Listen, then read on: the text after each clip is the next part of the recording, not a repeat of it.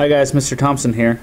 We've got this piecewise function with three pieces and we're trying to find a bunch of stuff as far as limits um, with going on in this piecewise function. The big thing to remember is that when I'm looking at a piecewise function, what really matters are the domains. So that, that, and that. Those pieces are cut up in such a way that I'm, I'm following the function negative 6 when x is less than negative 2. I'm following the function 2x minus 2 in between negative 2 and 1. And I'm following this parabola when x is greater than 1. Now when I'm doing limits, I don't even actually care what's going on at negative 2, 1, and 1, except for the fact that I need the pieces to be together. So when I read x is less than negative 2, I'm thinking left of negative 2. So everything to the left of negative 2. When I'm reading negative 2 to 1, I'm thinking right of negative 2 and left of 1. And when I see x is greater than 1, I'm thinking to the right of 1. That's going to help me when I do my one-sided limits. So now let's look over here. We want the limit as x approaches negative 2 from the negative side, or from the left.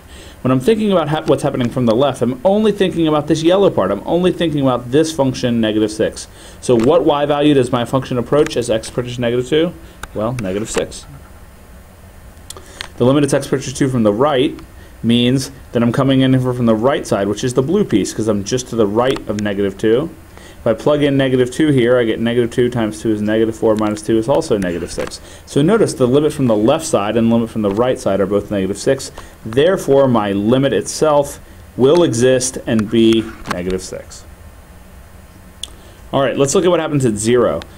Notice 0 isn't in this list. But that's okay because we can do a limit where there isn't anything funky going on. If I'm doing the limit as x approaches 0, 0 is in between negative 2 and 1, so I'm just plugging 0 in here. The limit as 0 approaches from the left is going to be negative 2, from the right, negative 2, and also negative 2.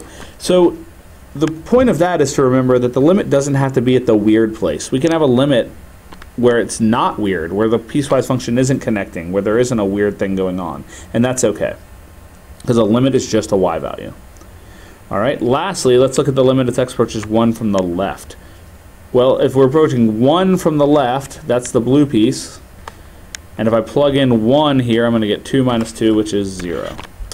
The limit as x approaches 1 from the right, now I'm looking at the green piece. And if I plug in 1 here from the right, I get 3. Now notice that the limit from the left is 0 and the limit from the right is 3.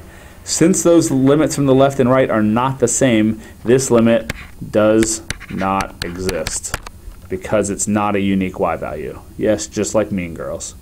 All right, have a good one.